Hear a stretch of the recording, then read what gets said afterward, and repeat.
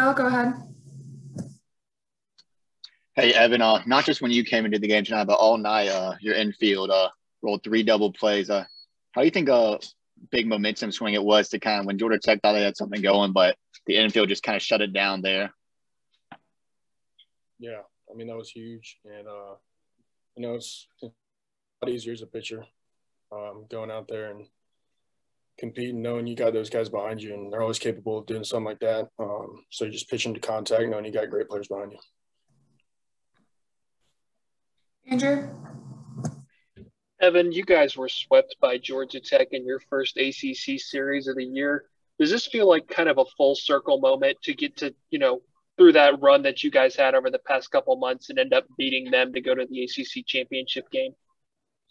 Right. Um, you know, it just so happened that we um, played them tonight. Um, you know, we go out there and treat everybody the same and just try and compete and play our best baseball every day.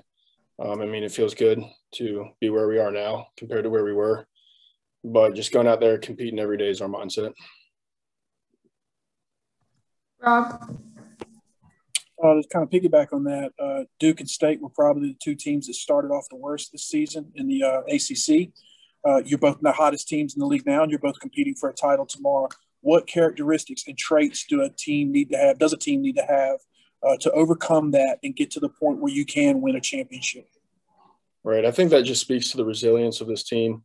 Um, you know, we never quit. We never put our heads down. We didn't get off the start we wanted to, but you know, we continued to go to work every day at practice, practice hard, um, and then you know we found a little rhythm here. So hope to keep it rolling from there. Thank you, sir. All right, that's it. Thank you. Thank you.